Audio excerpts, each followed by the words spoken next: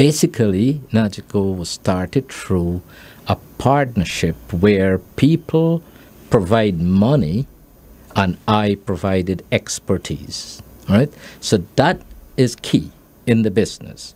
So if you go to somebody for money, for example, you have to be very clear in your mind uh, what you are bringing to the table, and not that you have a pipe dream of becoming rich, so you have you go to somebody for money. No, what are you bringing to the table? And sometimes it might not be that you are bringing something to the table, but you know someone who has the expertise so it could be someone you know, but you are still providing that expertise because it's expertise that is known to you and not known to the person providing the capital. Right? So Nagico was that way. When I started the car rental business, I had a partner, so it was reverse. Right?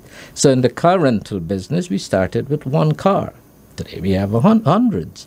But we started with one car. What happened in that situation? I provided the money. And my partner, so I have another partner that provided the knowledge and the expertise.